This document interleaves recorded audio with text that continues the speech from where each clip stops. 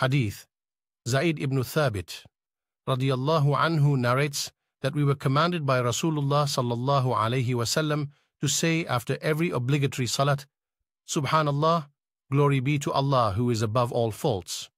33 times, Alhamdulillah, praise be to Allah. 33 times, and Allahu Akbar. Allah is the greatest.